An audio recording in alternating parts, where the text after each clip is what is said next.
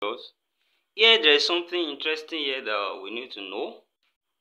When we have two power, we have a power like this and uh, added up so we can separate it from law of indices. When we have something of the form a raised to power m plus n, we can break it down and say this will be a raised to power m times a raised to power n.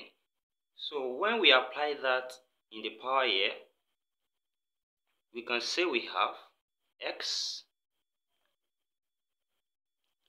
then raised to power x raised to power 1 then times x raised to power x. So the power here has been dealt with. We separated it there. Then we have that. Then equals to, on this side we can write it as 4 raised to power 4. 4 raised to power 4 is same thing as 256. And from there,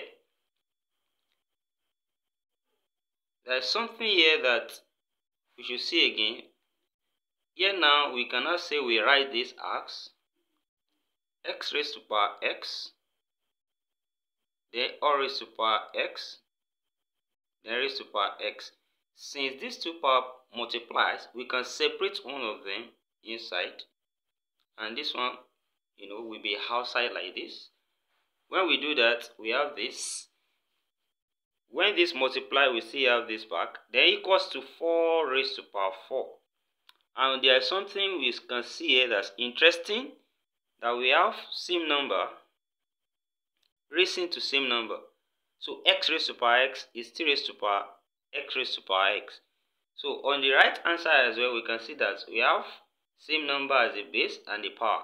So clearly from here, we can see that x raised to power x equals to 4, which we can write again as x raised to power x equals to 4 can be written as 2 raised to power 2. So clearly from here again, we can see that the base are the same, the power are the same. Therefore, our x is equals to 2.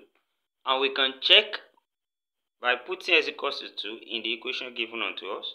So we can do that to confirm. Thank you for joining us. Don't forget subscribe to this channel for more of our videos. See you in the next class and bye for now.